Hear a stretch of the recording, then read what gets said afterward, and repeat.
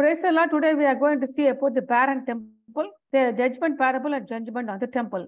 So as you all know that the life of Jesus Christ is divided into eight parts. Now we are the last part, the last week, crucifixion and resurrection, which happened for seven days. And now you all, this is this, this is the part where Jesus Christ did his ministry. This is a map of Israel. Now he is in the Jerusalem and he's going to finish his ministry here in Galilee, in Decapolis, in Perea, Samaria, and Judea, and everywhere he finished the ministry. Now here in, Jerusalem, where he's going to finish his ministry, his mission by dying on the cross.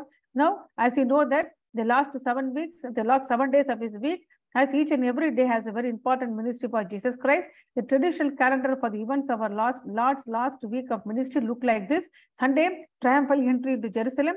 And Monday, there is a cleansing of the temple and then cursing of the fig tree. And the Tuesday, there is a controversy with the Jewish leaders. And in that case, Jesus Christ um, said so many parables also. And the Wednesday, apparently a day of rest. There is nothing recorded about the Jesus ministry on Wednesday. On Thursday, the preparation for Passover.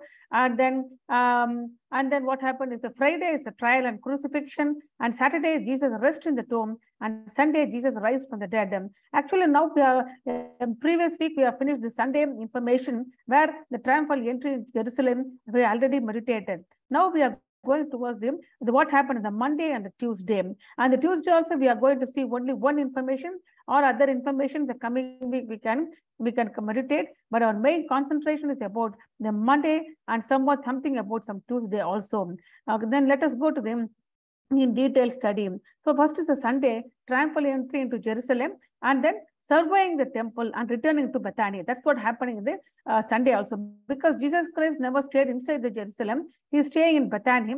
So maybe people are thinking in Bethany, Mary, Ma Martha and Lazarus' house was there. Maybe Jesus was uh, staying there. That's what their intention. That's what the, uh, the, um, the theologians are predicting. But um, he never, he didn't stay in Jerusalem in the night. In the night, he went and stayed in Bethany. And the early morning, he come back to Jerusalem. It is like um, the distance is like some little bit like um, uh, two to three miles. Um, uh, the distance is there. So it is easy for him to travel from Bethany to Jerusalem. Since it is a Passover um, feast time, the Jerusalem is full of people and he never get the place maybe to stay. We don't know why he stayed, but he stayed one in Bethany. So first is a transfer into Jerusalem and then he went to temple.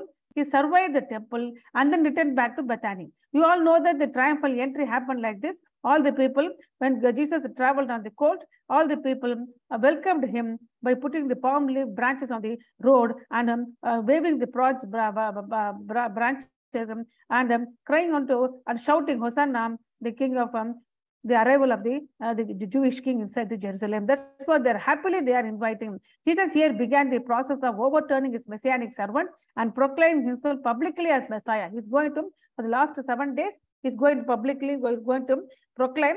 Yet Jesus enters Jerusalem in um, humility on a lonely donkey rather than on a war horse to proclaim his messianic intention. By why he coming on the donkey? To proclaim his messianic intention. He never traveled on the donkey, as you all know that the, the first cycle is them well for entering the the uh, Jerusalem, uh, Jesus Christ instruct the disciples find a donkey and colt and bring them to Jesus Christ. And they, I, they asked why you are taking the colt. Tell tell that the Lord needed as a fulfillment of Zechariah 9 9, because Zechariah 9 9, it is revealed that your king will travel in the donkey and the colt inside the Jerusalem. So fulfill that. Um, Jesus Christ instructed the disciple to go and bring the donkey and the colt uh, because, but he was staying in the Bethphage and he's asking the disciple to go inside Jerusalem and get the colt and the donkey. And as it is instructed, Jesus Christ, um, the, the, the, disciple went and took the colt and uh, donkey, and the donkey and the colt brought to Jesus Christ. And then Jesus Christ traveled on the uh, colt, and then the crowd spread the garments and the branches on the road, and Messiah acclamation of the crowd was also there. The people were shouting and they're calling unto God. And God, um, and they were, um, um, some people were there, and they saw the miracle, what Jesus said, and they also cried, Save me, save, we pray. Blessed is the one who comes in the Jehovah name. Blessed is the coming kingdom of our for um, Father David. That's what they all shouted. They all praised God. And um, Jesus, um, seeing that the Pharisees in the crowd are upset over this proclamation, And they tell Jesus, teacher, rebuke your disciples. Why they are shouting like this? Then Jesus replied, I tell you, if this uh, remains silent, the stone would cry out. So all the disciples, all the people are crying out and shouting about Hosanna, Hosanna. As the custom that, uh, when visiting Jerusalem, Jesus goes to the temple to teach. There he cured the blind and the lame. So after this entry, after all this uh, shouting and um, worshipping and uh, shouting like Hosanna, Hosanna, and um, uh, arrival of the um, save, save, we pray. Hosanna means save. We pray that blessed is the one who coming in Jehovah's name. Blessed is the coming kingdom of our father David. That's um, that, that's what they shouted. Um, they, they shouted Hosanna. Hosanna means save. Please come and save. That's what that's what represents. Hosanna means save. We pray. We are praying that please come and save us. That's what they shouted. After this is over, um, Jesus Christ um, went to Jerusalem temple and um, there he gave some teaching and then he cured the blind and the lame people there. Now he is going to finish his ministry. Maybe this is the last uh, uh, healing he's doing. When the chief priests and the scribes see what he's doing and hear the boys in the temple cry out, save me, save, we pray. That is Hosanna, the son of David. They became angry. The children also, the boys also shouting what they are shouting, Hosanna, Hosanna, the son of David. They became angry. Who chief priest? Even the religious leader asked Jesus, do you hear what these are saying? Jesus replied, did you never read this? Out of the mouth of the children and infants, you have brought forth praise. That is um, revealed in um, Psalms uh, chapter 5. So this is what is happening now. Why are you interrupting now? Let the children shout, um, Hosanna, Hosanna, the son of David. Jesus looks around upon the things in the temple. It is now late. So he leaves with the apostle. Now, after they were um, seeing the inspection of the temple, he just inspected the temple. He traveled back to Bethany, where they spent night in the uh, Bethany, maybe in the Mary, Martha, Lazarus house. So Sunday is over. Now, the Sunday he entered, he, he visited the temple. There he gave some little teaching. He cured the people who are lame and um, who are lame and blind. And after that, uh, the, the, boys are also shouting. And he made a little inspection there he returned back to Bethany. This over on Sunday. And what happened the Monday? And the Monday, is going to travel. Three things are, are, going to happen. Fig tree cursing is going to happening. And then cleansing the temple, the attraction of the sacrifice. Who is the sacrifice here? Jesus Christ. So the people, especially the Gentile people, are going to be attracted towards Jesus Christ. Then again, he is returned to Bethany. This is going to happen on Monday.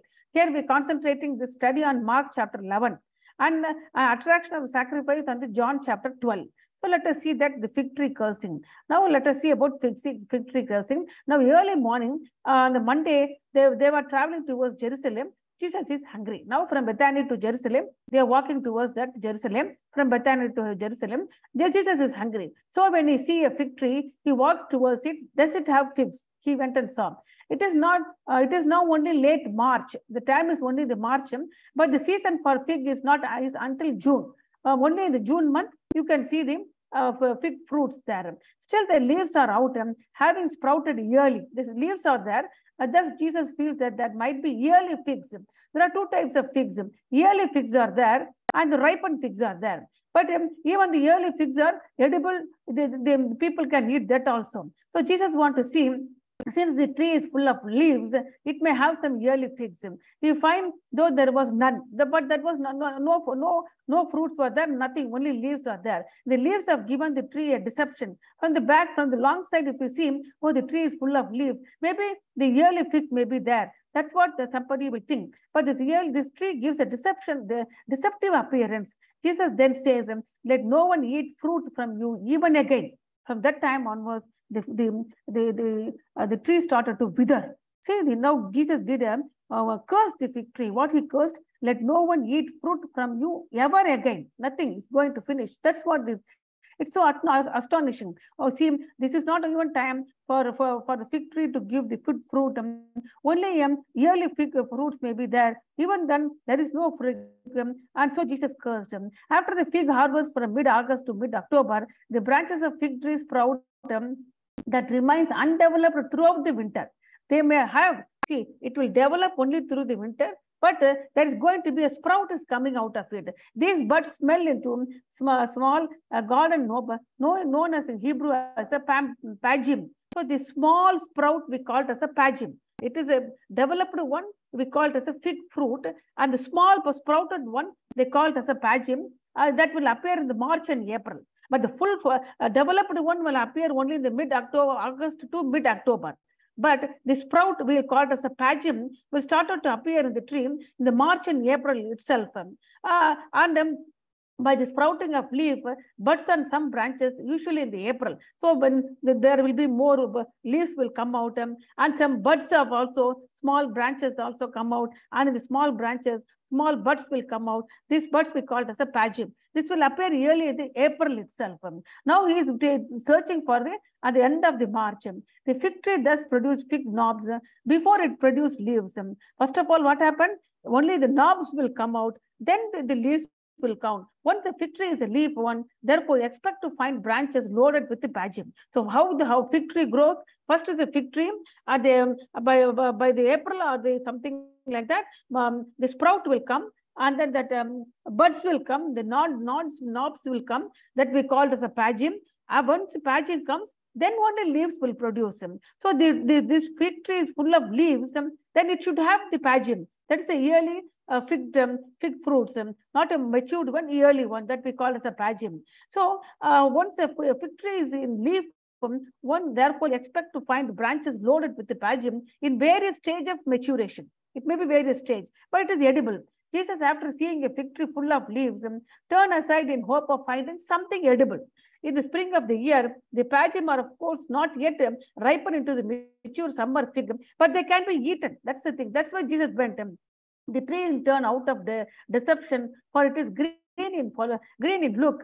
But when Jesus inspected it, he find no pageant. See, now here also Jesus inspecting the fig tree. First of all, in the Sunday, Jesus went to Jerusalem. There he inspected the temple. Now he is inspecting the fig tree, whether he has some yearly fig fruits. It is a tree with a sign of fruit, but with no fruit. How it is sign? Well, how you think that the, tree is full of sign of fruit? Because more leaves are there. First pageant will come, then only leaves will come. Now the leaves are more, that means each branch should be loaded with the pageant, but only leaves are there, no um, is there. The more puzzling part of the brief narration of the cursing of the fig. Why Jesus cursed the fig? Because the prophet had often used the fig tree as a symbol of the judgment. So in Old Testament days, Isaiah, Jeremiah, Hosea, Joel, and Micah all represented fig tree as a symbol of judgment. So now Jesus Christ is going to pronounce judgment on the Jerusalem, on the Jerusalem temple. So now, since um, these people, even though Jesus did ministry for three and a half years, nobody accepts Jesus as a Messiah. Now this is a time for them to be to pronounce judgment. So for that, pictorially, now Jesus is cursing the fig tree, even though the fig tree appears to have uh, greeny leaves, but there is no pageant. Even though it looked like it's going to have the yearly fig trees, but in deception, there is no fig fruits. Um, the leafy fig tree, with all its promises of fruit, uh, is as deceptive as a temple, um, which despite its religious commerce and activity, um, it really hide out nothing. So he went and searched the temple also. He already inspected what is wrong happening there. You know what is happening there. So in the same way, the people are expecting people worship there, the, and the God's presence will be there. That's what the people expectation of the temple. But what happened is all wrong things are happening. The same way, they look, the tree look like a so greeny pasture, and the people expect it will have the pageant, but it has nothing is there. So the curse of the fig tree is a symbol of God's judgment on the temple. So this is first about the cursing of the fig tree. Now let us go to the cleansing the temple. After cursing the fig tree, Jesus Christ again go to the temple. What's going to happen there? Let us see that. Because Jesus is going to cleanse the temple. Can you see here? He's um, uh, putting upside down the table where they're exchanging the coin and the dough is there and the marketplace is there and all the people are buying and selling Someone, some person is also giving money and buying something also. Everything is happening there, but Jesus is putting up everything upside down. That we call as cleansing the temple. Before long, Jesus and his disciple reach Jerusalem. He, he goes to the temple. When he inspected the previous afternoon itself, that Sunday afternoon itself, he inspected. Now he's going again to the temple. Today he does more than inspection. He acts like what he did three years earlier at the Passover, that is 30 CE. Three years before, Jesus Christ cleansed the temple. That is there in John chapter. Again, after three years, again also he's going to do the same thing. He's going to cleanse the temple. This time Jesus throw out those selling and buying in the temple. Everything he's going to throw out. He also overturned the table of the money changers and the benches of those selling doves. This is all going to happen now. Okay, everything is happening now. Jesus is cleansing cleansing the temple. Now we can know why Jesus is cleansing the temple. What is happening there? So he does not even let anyone carrying things to any another part of the city takes a shortcut through the temple courtyard. Most of the people, it's a big temple yard. So when they cross them and go to other side of the, um, of the city, they'll cross through the temple and carry the things. That also he is stopping. He says it, it is not written, my house will be called house of prayer for all the nation, but you have made it a cave of robbers. It should be a house of prayer, but it turned into the cave of robbers. Um, so can you see here, house of prayer is where the people gather together to pray. Now here, the, here the thieves are hiding and it became a cave for robbers. Um, his, reason for calling this man robber is that they demand um, extraordinary price from those who have to buy animals needed for sacrifice. You all know that uh, this is a Passover feast um, time. During the Passover feast, it is written in the Old Testament, in the Moses law, everybody has to sacrifice the Passover lamb. For that Passover lamb, they have to buy the Passover lamb. The people who are traveling from the long distance, like from Galilee, from Perea, uh, all this distance are very long. They cannot take the cattle along with them because it cannot walk long, walk long distance, isn't it? So they have to buy from the place um, in Jerusalem, in and around Jerusalem only. Now they are selling in the temple itself, um, but the price of the uh, the the, uh, the the sacrifice animal is very high. No other way, they have to buy it. So by that, they are cheating the people. Jesus viewed this dealing as a extortion or robbery. Now you are taking excess money from people. That means you are robbing money from the people because they have to pay the sacrifice. For that sacrifice animal, they are um, giving more money than the normal amount. Um, here, Herod temple, let us go see about Herod temple. Herod temple is Israel's third temple. It is first temple was uh, Solomon temple, second temple was Zerubbabel temple. Now Herod temple is, um, is an expansion of the Zerubbabel temple and we call it the third temple also. Was still under the construction of Jesus' days, um, having been begun in 20 BC. Now the time is um, uh, uh, AD 32, but it has started to build by 20 BC. So they were building the, the this uh, third temple for more than 60 years. The construction is still going on. The temple consists of four divisions and of immense and, and property. It is a very big property and it has four divisions. The temple has four divisions. First and the largest division was the court of the Gentile and open air um, um, quadrangle measuring around 500 yards long by 325 yard which is 35 acres um, and enclosed uh, a porch, um, portico supported by rows of columns. So it is a beautiful one. It's a very big one. It is a comprising of more than three to four football grounds. Um, can you see how big it is? Uh, most part of the Jerusalem is covered with this temple, such a big one. Even the, it has four parts. The first part is the first, first and largest part is a Gentile court, where the Gentile people can stay and pray. Uh, beyond that, the Gentiles are not allowed. Only Jewish people are allowed. The first is a Gentile court. The area of the Gentile court, um, um, um, the, the, since it is a very large court um, full of porticos and columns, um, there what happened? The merchants sold sheep and dove for sacrifice and exchanged foreign currency into the Tyrian shekel, the closest available currency to the Hebrew shekel commanded in Exodus 30. Can you see here? Now only this place is very big, and this is a Gentile court, um, and um, and uh, and so the merchants collect the sheep and dove there, and they started to sell that uh, for sacrifice uh, and exchange foreign currency also. The foreign currency is nothing but the Tyrian uh, silver currency. Uh, the, the people are traveling from different countries. Um, they may have the different different currencies. Um, on the currency, they may be uh, engraved with the other king's name, other king's faces, um, or any idol faces.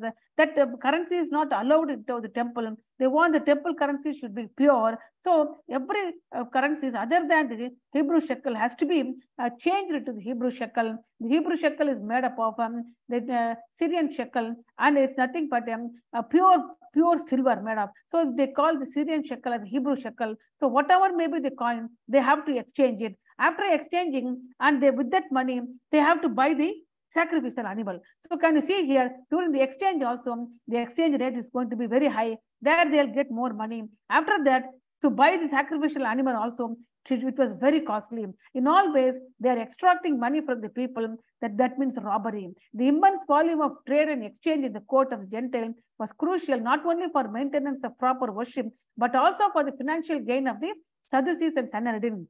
Here, the excess money, the market people, the sellers are getting, no, each, each each sellers are getting excess money now. The excess money, they have to give certain percentage of money to Sa- Sadducees and Sanhedrin group. Uh, Sanhedrin has 72 members, and so separate money is going for them also. This we call as a commission money. So this is also going. All these things are very bad. The other three divisions of the temple are the court of the woman, the court of the Israel, so where only circumcised Jewish male can go, then the holy of holies belonged within the sanctuary. So four division. First division is the court of Gentile, where the, the merchants sold, uh, selling their sheep and dove for sacrifice and they are exchanging foreign currency. And the next one is the woman court, where only women are allowed until that court. The next is um, the court of Israel, where the circumcised Jewish males are allowed. And last one is the Holy of Holies. Only the high priest and priest are allowed there. So this is what the temple looks like. Um, now the sanctuary was separated from the court of the Gentile by a wall. Now the Gentile people are not allowed beyond the Gentile court. Um, and there is a wall uh, to separate them. They call, they call the wall, wall as a soreg. Um, and on the soreg there was um, um uh, there was a warning was posted which was written in Greek, Latin, and uh, Arabic. What it was warning written, no foreigners, that is Gentile may enter within the railing or enclosed, the enclosure that surrounds the temple. This is the place until this only the Gentile people can stay. If they are going to cross beyond this wall, then they are going to be killed. And if they are going to be killed, don't blame anybody. You are going to be killed because of your action. That was written in Greek, in Latin, and Arabic. The court of the Gentile was a vital stock market of animal dealers and money changers, all of whom were necessary to ensure proper sacrifice and offering for the many pilgrims, especially at festival to the temple. In righteous indignation, in righteous agony, Jesus drives the animal dealers from the temple and overturns the table of money changers. That's what Jesus did. Then Jesus taught them by saying, after doing that, Jesus said, Scripture says, My house will be called the house of prayer, but you have turned it into the gathering place of thieves. The reference to this house of prayer for all nations comes from Jesus took this reference from Isaiah chapter 56, 7. The Isaiah 56 speaks of the extension of the God's salvation with the people who formerly excluded them. Before the people, only the Israel people are included in the temple. Can you see here? Until only the Gentile uh, Gentile court, only until the Gentile Gentiles are allowed. Beyond that, they cannot go. Uh, beyond that is a woman court. And then after woman court, there is a male court. After that is the Holy of Holies. Only Gentile can stay until that court. They are not allowed beyond that. But what the Isaiah 56, but um, Jesus Christ quote this from the Isaiah 56. What the Isaiah 56 says, my house will be called the house of prayer, but you have turned it into the gathering prayer of thieves. Isaiah 56 um, speaks of the extension of the God's salvation, not only the Jewish people, it is extended beyond the foreigners, unique, exiles, and Gentiles, all for all people salvation is extended. That's what Isaiah 56 says. Uh, the temple and the covenant are not reserved exclusively for Israel, but including all nations. Um, that's what um, um, uh, the uh, Isaiah, the Isaiah 56, the 13, 10 says. Uh, the temple is not the sole property of Israel, but a witness to the nation, the place where everyone who loves the name of the Lord uh, worship him, a place where God will gather still others. Not only you are telling that uh, Gentile people are not, allowed beyond that court, uh, that uh, that gate. We call that gate as a uh, that gate we call it as um, that wall we call it as a soreg. So only until that wall soreg. The Gentiles are allowed. If they, if they, if they cross the soreg, they may be killed. But now Jesus Christ is telling this temple is going to be salvation is going to be extended beyond all the foreigners, all the Gentiles, all the Unishwar, all are now going to be saved. The temple is not only the sole property of Israel, but all the other people uh, who loves the name of the Lord, they can come and worship him, a place where God will gather still others. When the chief priests and expert in Moses' teaching heard him, they looked for a way to kill him. When they saw that what Jesus did, he overturned the table because um, this um, Gentile court is um, watched by the Sanhedrin group high priest and Sadducees, all these religious leaders, when he overturned the table and sent everybody out, they came to know that very easily. So they got very angry. They are going to look for him to kill him. But they were afraid to kill him because um, there so many people are crowd of people are amazed and hearing this teaching around him. So they are, they are not able to catch him on that day to kill him. So now it's the attraction of the sacrifice. Now next is what? After this overturning, there's going to, something is going to happen. That is attraction of sacrifice. Then he, then Jesus Christ returned to Bethany. What is attra attraction of sacrifice? Let us see that um, uh, no, not only uh, the uh, Jewish, but also proselytes convert to Jesus' religion have come for the Passover. This Passover not only for Jewish people and for Gentiles who accept the uh, Jehovah God as a true God and who convert to the Judaism, also coming to to to take part in the Passover feast. So, uh, so many Greek-speaking people are there. All other language people who are not Jewish people, but they belong to other race, um, but they became a believer of Jehovah. So those people we called as a proselytes. They are called as a proselytes. And those people also there in Jerusalem. Among them are the Greeks who have come to worship at the feast. There are some Greek people are there. They are proselytes. They are not belong to the Jewish, um, the, to the race of Jewish uh, Israel people, but they are Greek Greek speaking people. They approach Philip, those Gentile people who accept Jesus, who accept Jehovah as a God, those proselytes approached Philip. Who is Philip? Philip is one of the disciple of Jesus Christ. Um, because they thought uh, Philip is a Greek name, so they might have approached him. Because Greek, no, Greek name, maybe they thought he's a Greek, so let it go and talk to him and ask him to see Jesus. They went and said, we want to see Jesus Christ. Um, so Philip may be unsure whether such a meeting is appropriate. He don't know whether is it correct to take these uh, people to Jesus Christ. He has no idea. So he, uh, he went and said this to Andrew. But uh, both Andrew and Philip take the matter to Jesus Christ, who is apparently still at the temple. Now still is at the temple. Now is uh, Andrew and Philip taking this information that some of the Greeks who are who are proselytes who came to Jerusalem uh, to take part in the Passover feast, they want to see you. That's what is going to happen. And then Jesus knows uh, what is going to happen in the few days. So this is not the time to satisfy people's curiosity or to seek popularity. So the problem is that uh, something is going to happen within few days. And what's going to happen? He is going to die on the cross. Uh, so this is not the time to satisfy people's curiosity. With the curiosity, they are coming and asking. And, uh, and this is not a time to seek popularity. And moreover, even though if you see them, nothing is going to happen because once he die on the cross one day, then one day the salvation is going to come to the Gentile people, then it is going to be useful. So he responded to the two apostles with an illustration. Now he whether he said no, yes or no, we don't know. But he started to give illustration to the two apostles. The hour has come for the Son of Man to be glorified. Now the time has come, the Son of Man is going to, to be glorified by dying on the cross. On the cross, more truly I say to you, unless a grain of wheat falls to the ground and dies, it remains just one grain, but if it dies, it then bears much fruit. See, the disciples are coming and asking, see, if the Greek people want to see you, whether he have to say yes or no. He didn't say anything uh, for, for that question, but instead of that, he started to give illustration to the disciple. What was the illustration? The hour has come, I am going to die. I'm going to be glorified. Since I'm going to be die, I'm going to die. I'm going. I'm going to compare my death as a uh, as a uh, as a only one beat which fall on the ground. Once the, the grain fall on the ground, it dies and it produces more grains um, and it bear more fruit. In the same way, what's going to happen? One grain of wheat might seem of little value, yet if it's put into the soil and dies as a seed, it can germinate and in time grows into a productive stalk with many grains.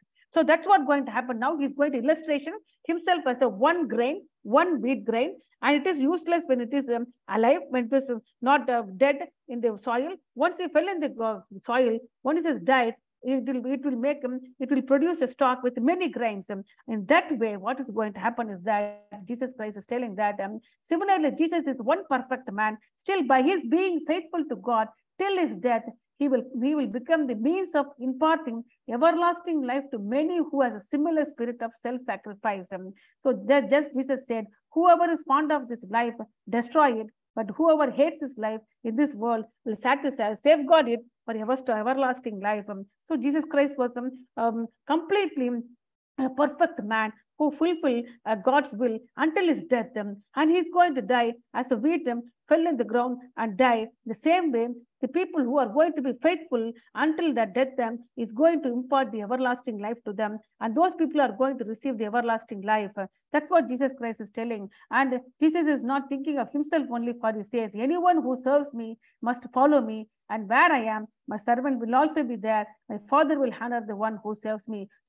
So many information now Jesus is giving to them. He's telling that I am going to die. Because of that, people who are going to be faithful unto their life are going to get the everlasting life. And where I am, the people who serve me are going to be there. And those people, Father will honor them. Those honored by the Father will become Christ uh, associated with the kingdom. Now, bearing in the mind the great sacrifice and agonizing death um, that, that awaits him, Jesus says, My soul is troubled. What should I say?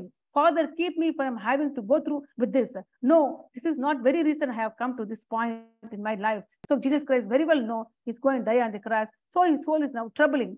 So here also, but Jesus does not want to avoid accomplishing God's will, but he still let God's will. I am coming to this hour. Let this happen to me. Jesus agree with all the God has purposed, including his own sacrificial death.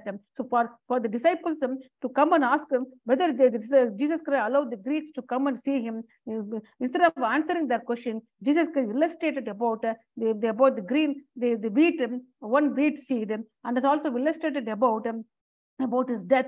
Um, all these things we have illustrated. After that, what happened is that, um, and then uh, the, then the Jewish people hear the God's voice. Um, the people hearing, all the people are in the, in the temple. Can you see here? This is the temple court where all the Jewish people also there. They hear the God's voice from the heaven. What's going to happen? I'll tell you. The Jews hear the God's voice. At the temple on Monday, Jesus is speaking about his approaching death. Can you see here? He's telling that I'm going to die. Jesus says, Father, glorify your name. A mighty voice from the heavens respond, I have glorified it and I will glorify it again. Immediately, a mighty voice heard from the heaven. Can you see here? The temple, all the people were astonished. Why? Jesus Christ said, um, Father, glorify your name because he's, he's know very well about his approaching death. That's why Jesus Christ said like this. The people nearby were astonished. They were afraid. Something they were heard thunder. Others says an angel has spoken to him. However, it is Jehovah whom they just heard speaking. Who was hearing? The Father God was hearing. They were speaking to them. So they are gathering the temple. They hear the voice from the heaven. Only Father God is talking to them, and, and uh, they were astonished. And this is not the first time that human have heard God's voice in connection with Jesus, um, because um, three and a half years ago, as Jesus' baptism, John the Baptist heard God saying to Jesus, um, uh, saying, uh, so saying about Jesus Christ, "This is my Son, the beloved, whom I have approved." So this is what voice Jesus Baptist, John the Baptist heard when Jesus took the baptism. This voice came from the heaven. This is my Son, my beloved, whom I have approved. Then later, after um, um, the, uh, after the 30 years, that is 32 CE, Jesus was transfigured before James, John, and Peter. You know that uh, during the ministry, Jesus took James, John, and Peter to the um, um to the tall top mountain. There he um, transfigured. And during the transfiguration, the three men heard God declaration. What God declared to them?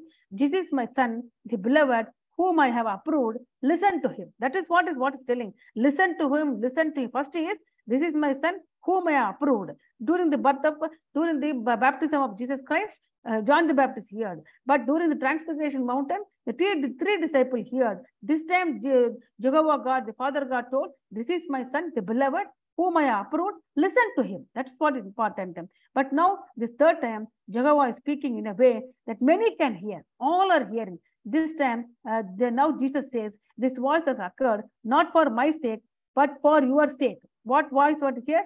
Glorify me, my Lord. That's what Jesus Christ said. And mighty voice here, I have glorified it and, and will glorify it again. Jesus, Jehovah God told, I already glorified you, Jesus, my son, I'm still going to glorify you. This was the voice here. And Jesus Christ is telling, this is voice has occurred not for me, that's for your sake. It is proof that uh, he is truly the Godson, the foretold Messiah. Now, the voice from heaven is very clearly telling all the people who gathered in the temple, Jesus Christ is Messiah. But moreover, Jesus' faithful life course but both exemplifies the way humans should live and confirms that certain the devil, the ruler of the world, deserve to be executed. The entire life, Jesus Christ's ministry clearly revealed that Satan is the one who has to be executed. That's why Jesus said, now it is a time for the world to be judged. Now the prince of this world will be thrown out. Now he's telling the, my entire um, ministry in the earth, um, I was um, doing all the ministry against the work of Satan. Now the time has come for the world to be judged. Now the prince of this world, which is the Satan, will be thrown out. That's going to happen. Rather than being a defeat, Jesus Christ um, approaches his death with, with a great smile and with and that, that will be a great victory. He explains, I am going to be lifted up from the earth. When I am, I will bring all people to myself. Jesus Christ telling, I am going to be lifted up on the cross on the earth. So on seeing that, all the people are, are going to bring to, towards myself because I am going to be lifted on the cross. He said this to show them how he was going to die. He's going to be lifted on the uh, cross. Um, by, by, uh, by, by that, um, so many people are going to come towards Christ, uh, accept Jesus as a Messiah. By his death, Jesus will draw others to himself, uh, opening the way to the everlasting life. So by his death, by my death, I'm going to draw other people towards myself and giving them and opening the way to the everlasting life because Jesus is the way, truth, and the life. In response to this, the, the crowd of people said, they lost, the, the, the Moses law said that Messiah will remain forever. But how come you are saying the son of man must be lifted up? Who is the son of man? Again, they are asking. The law of Moses said Messiah is going to live forever, but you are telling that son of man must be lifted up. Who is that son of man? Despite all evidence, including hearing God's own voice, most of them do not accept Jesus as a true son of man, the promised Messiah. Even they hear the voice, even after that also, they are not accepting Jesus as a son of man. Looking back of Jesus' ministry, prophecy were being fulfilled when Jews did not put faith in him. Even though so many miracles Jesus did, Jews, Jewish people, Jewish people did not put faith on Jesus as a Messiah. So already Isaiah foretold that the eyes of the people would be blinded and their hearts would be hard so that they would not turn around to be healed. Already Isaiah revealed in the prophecy itself that um, even though the Messiah come and talk to you, your eyes are going to be uh, blinded. Your spiritual eyes are going to be blinded and your hearts are so hard that you never accept them and would turn away from the sin. That's what Isaiah chapter 6, uh, 10 and 6, 10 says. Um, so it is already revealed. Now it is happening. Jesus cried out and said, whoever believe in me does not does not believe in me only they also believe in the one who sent me that's why jesus cried out now at last in the temple he's crying out and telling i don't come to judge the world i came to serve the world but there is a judge for anyone who does not accept me and my words those words i have spoken will judge them on the last day then i'm not going to judge only the word i have spoken is going to judge you on the last day leaving jerusalem on monday afternoon Jesus returned to Bethany. After doing or saying all these things, Jesus Christ left the temple and he left the Jerusalem on the Monday afternoon itself. And Jesus returned to Bethany. Um, uh, then he likely spent the night at the home of his friends, Martha, Ma, Mary, and Lazarus. Again, this one, two, Monday is over. And the Monday, Jesus Christ clearly revealed that I am going to be lifted up by lifting up. So I'm going to draw more people towards me. So that what happened, and they hear the voice from heaven. Jehovah God talked directly to the people. Even go, all these things happen, they never accept Jesus as a Messiah. With this thing, the Monday uh, work is over. Even in the afternoon itself, Jesus Christ returned to Bethany and might have stayed in the Mary, Mary Martha, and Lazarus' house. Let us go to the Tuesday. What happened going to the Tuesday? Because already the, while entering into the Jerusalem, Jesus Christ uh, cursed the fig tree, isn't it? Now let us go. What is going to happen now? And the Tuesday also. Then I returned back. They stayed the full night. Monday night is over. The Tuesday morning, again, Jesus Christ is going to travel from Bethany to Jerusalem. And then what is going to happen? Judgment parable, withering the fig tree testifies. Now, already the, the fig tree was withered. That is going to testify something. What is going to testify? Let us see that. That we call the judgment parable. Already the temple was judgmented, isn't it? The, the, the, judgment on the temple was pronounced by Jesus Christ. Now there's a judgment parable because Jesus Christ searched for a um, yearly fig trees, fig fruit from the uh, uh, from the greeny uh, green leaf, leaf filled fig tree, but he didn't find anything. So in the same way, Jesus Christ inspected the temple and found anything good over there. Nothing he found. Then he cleansed the temple and that is called the, the, the judgment of the temple. And again, he stayed back, he went back again uh, on the stayed night, on the Monday night, he stayed in the Mary Martha Lazarus house. And the Monday is over. Again, Tuesday is returning back to Jerusalem. On the way, what is going to happen? That we are going to see. That we call the judgment parable. Withering fig tree testifies, Mark chapter 11. While they are coming or traveling towards Jerusalem, Peter saw that the, that the tree what Jesus Christ cursed was already uh, withered. So he was there, all the disciples were very astonished to see that. Can you see here? Not even a single green leaves are there. Everything was burnt, look like everything is withered. Before it was fully green, but only leaves are there. No yearly uh, fruits are there. And now uh, nothing is there. Fully it is withered. Let us see what's going to happen. Now in the morning, Jesus and his disciples are on the road again. Walking towards the Jerusalem, um, where they where they want to go to temple, um, uh, where they want to go to temple. And as the final day of his public ministry, before he celebrated the Passover, he stick to the memories of memories of death and the face of the trial and execution. And, and on the way to Bethany, over the Mount of Olives towards Jerusalem, Peter noticed the tree that Jesus cursed the previous morning. And he noticed uh, the tree what Jesus Christ cursed the previous morning. And the which morning he cursed? And the Monday morning, Jesus Christ cursed. Now, on the Tuesday morning, Peter is seeing that. So he said to Jesus, Rabbi, look, the fig tree you cursed has dried up. Everything is dried up. So, from this, what the lesson we know? They like the fig tree, the nation of Israel has a deceptive appearance. First is what? What's the parable from we are learning from this parable? The parable is so Jesus Christ telling that, like the fig tree, um, which was which has no fruit, the same way, the, the nation of Israel has a deceptive appearance. The people of this nation are in covenant relationship with God, and they might outwardly appear to observe His law. It looked like all the people are gathering you know, during the feast of Passover. More than 1 million people are there. Maybe, I'm sorry, more, more than um, uh, 20 to 20, 25 lakhs of people are gathered in Jerusalem. So they want to celebrate the feast. They want to fulfill the law of Moses, what to do on the day of uh, um, Passover. Everybody seems to be so religious. Outwardly, they are observing the law. It looked like so they are like a green fig tree. And uh, inside, if you go and inspect them, like the fig tree, it has no yearly fig fruits.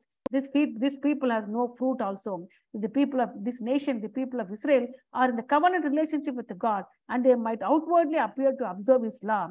And however, the nation as a whole has proved to be both lacking faith and barren of good fruitage. They even reject God's own son. They rejected God's own son. They are lacking faith and nothing more, more, no good fruits are there. The people are full of sin, but they are coming to the temple, doing the sacrifice, again go back and do the same sin. So nothing is good. Hence, by causing the unproductive fig tree to wither, hence by cursing the unproductive fig tree to dry, Jesus Christ demonstrated the end um, will be the fruitless, uh, faithless nation. What will be the end?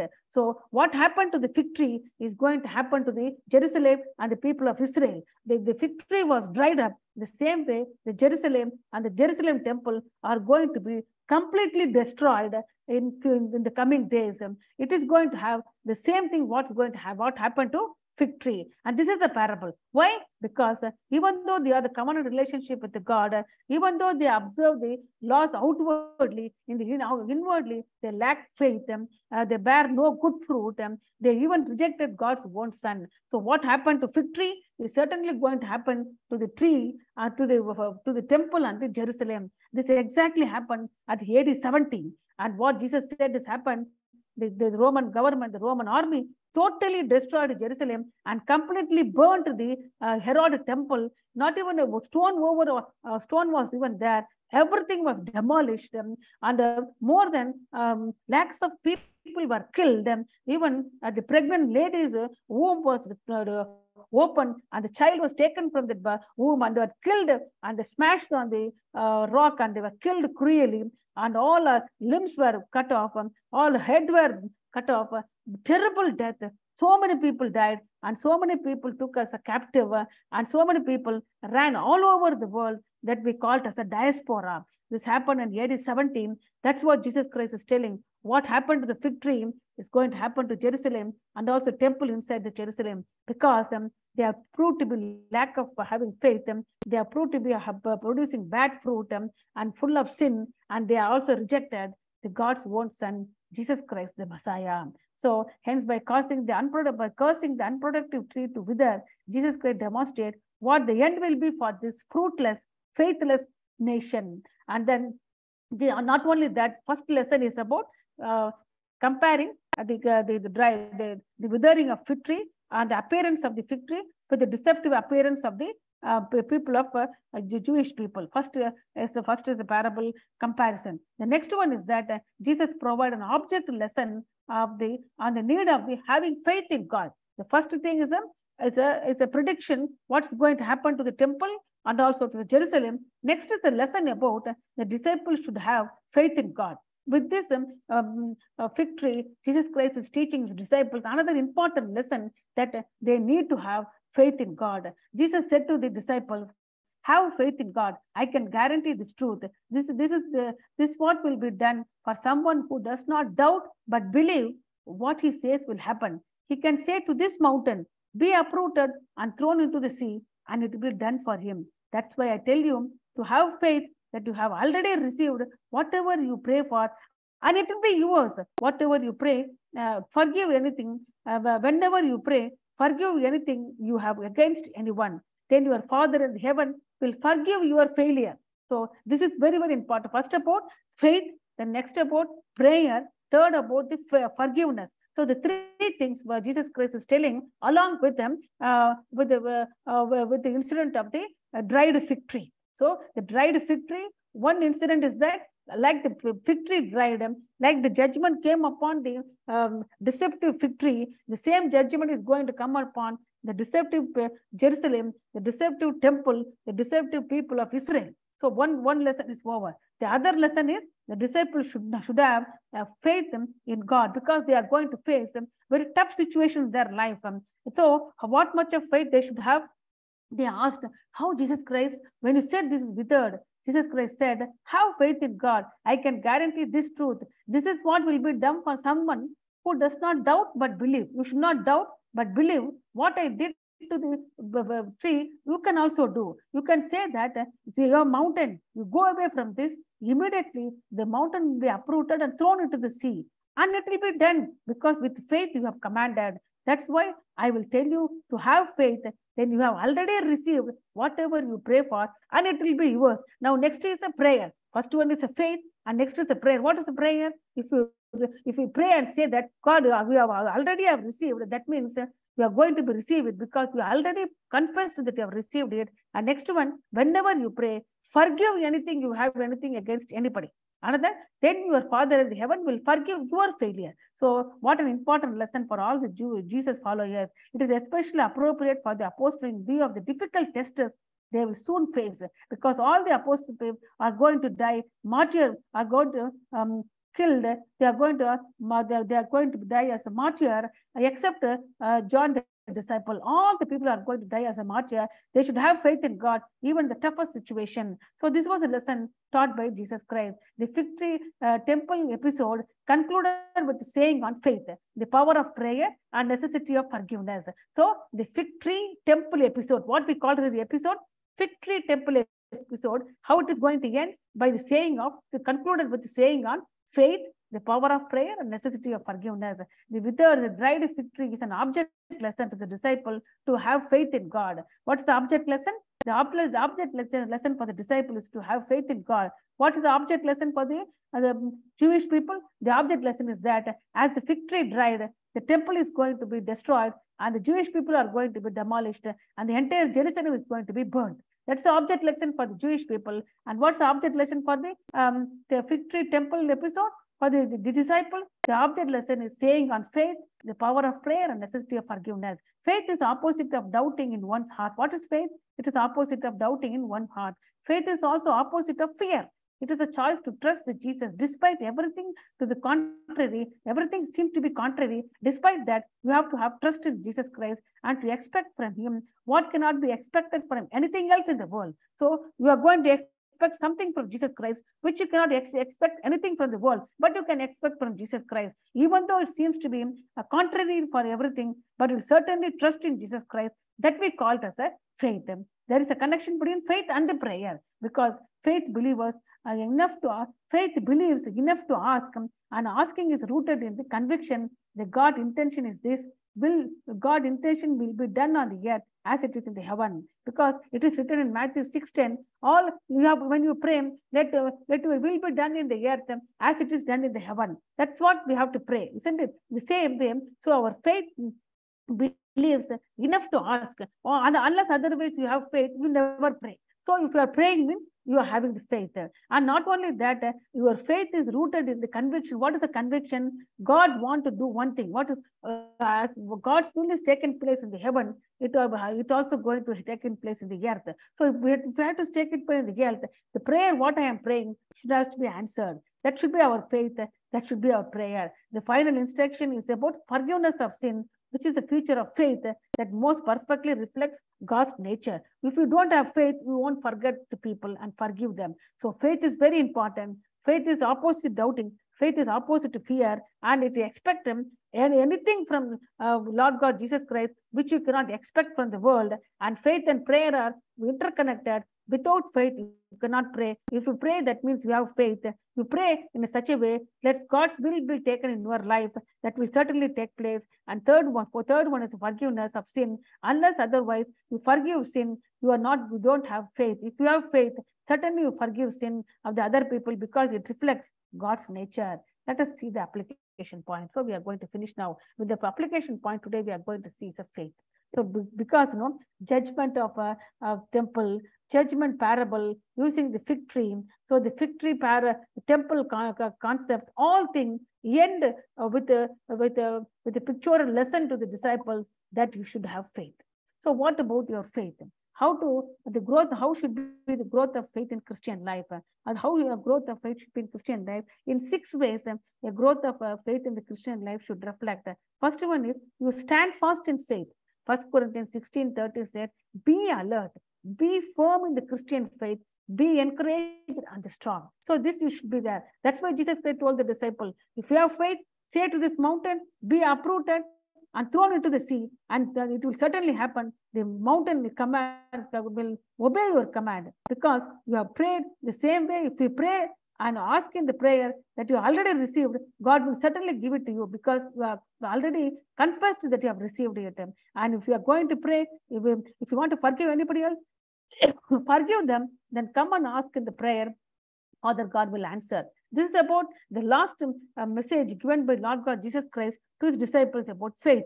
So what about the faith life of you? You stand first in faith. That means um, 1 Corinthians 16, 13 said, be alert, be firm in the Christian faith, be courage and strong. That is very, very important. You continue in faith. Don't be discontinued. That's what Paul went all over Iconia, Lystra, and all the places. He, he told the people, be strong in faith, continue in faith.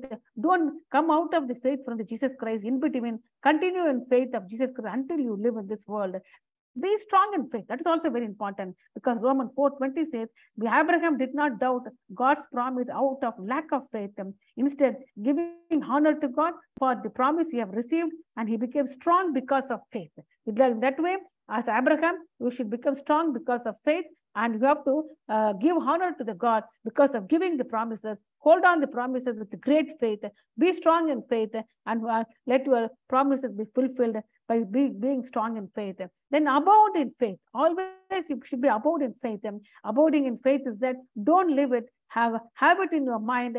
But what, what faith you have in your mind, your, faith you have in the mind is that Jesus is a, um, is a Messiah. He died on the cross for your sin. You accept him as a savior and you are living your life for serving the Jesus Christ and fulfill the um, grand commission in your life. Be grounded in faith. What do you mean by be grounded in faith? Colossians chapter 1, 23 says, you continue in faith without being moved from the solid foundation of hope that good news contains. So you should be solid foundation. Whatever happens, good thing happen, maybe bad thing happen, maybe your prayer answered, sometimes prayer won't be answered. Whatever may be the situation, you should continue in the faith and not be moved from the solid foundation hold fast in faith. Always hold fast it don't leave it. So in this this way you have to grow in faith in your christian life. Um, and so we saw today sunday triumph for entry into the jerusalem surveying the temple and returned to bethany. Jesus christ returned to bethany and stayed there.